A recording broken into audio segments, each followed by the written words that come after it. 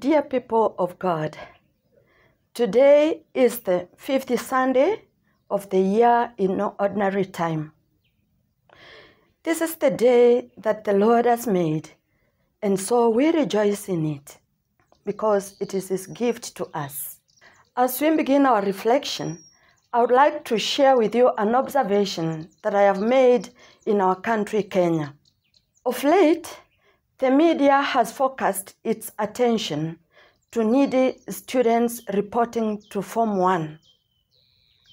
For instance, there is a case of a boy who walked 57 kilometers from his home to his new school. And some people responded to this needy case and provided. Many patients in different parts of the world have come up because they cannot meet their medical bills and have requested the public to assist them. All these cases that we find all around the world are in harmony with the first reading, whereby the prophet Isaiah is inviting us to move out, to reach out to the needy, to the poor, to the hungry, to those who are naked and clothe them, to those who are homeless, to all those needy cases. As we listen to the word of God today, the question that we would ask ourselves is what needy case do I have in my hands, in my village, wherever I work, that I can use my resources to assist? The Word of God today challenges us to reach out to the needy, to reach out to people that need God's mercy, to be sources of hope, to give life. And when we give hope, when we reach out to these needy cases, God is happy. And Isaiah is telling us when we help other people, God will in turn hear our cry when we cry out to Him. God will in turn hear our prayer. The good that we do comes back to us, not just to that person. And no wonder the Kiswahili song goes, Unapotenda wema wajitendea mwenyewe, unapotenda maovu wajitenda mwenyewe. The good you do comes back to you. The evil you do comes back to you. And so God is inviting us to do that which is good to the other. In the gospel reading, Jesus is calling his followers salt of the earth and light of the world. The question that one would ask is why is Jesus using the symbols of salt and light? In the African context, salt is used in two many ways, and not just in the African, but commonly, salt is used to preserve.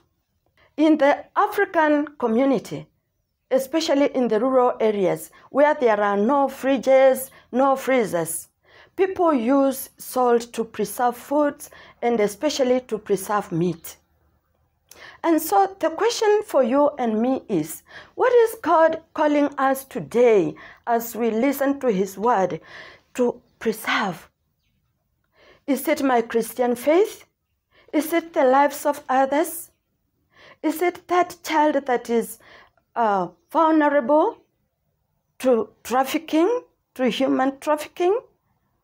Is it that needy case that needs my attention? Is it my Christian values, my Christian identity?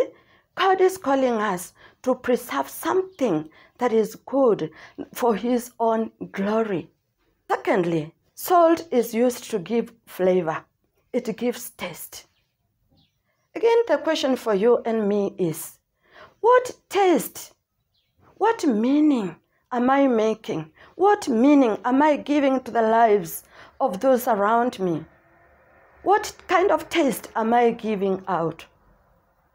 To the people in the school where I spend my day, to the patients with whom I interact, to that church community, to the small Christian community, in the parliament.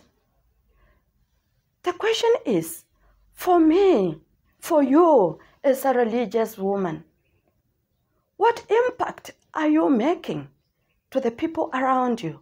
As a priest, as a brother, as a lay person, as a religious man, what impact are you making to the people around you?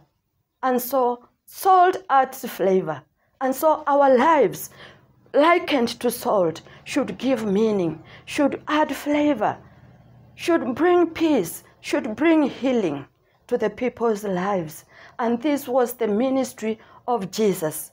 And we, as his followers, are sharers in this ministry, whereby we are invited to become sources of hope, sources of peace, where we are invited to give meaning to people's lives. Jesus today is reminding us that we are the light of the world. We are the light. We are supposed to hold this candle that we received at baptism. And so, as light of the world, as light of the people, as light of the community in whose life we share. We are called to become role models. We are called to lead people to that true light, Christ the Lord. Dear people of God, let us today pray that God fills us with His Spirit to enable us to become more sensitive to the needs of the people around us. May the peace of our Lord remain with us and the people that we serve. God bless you.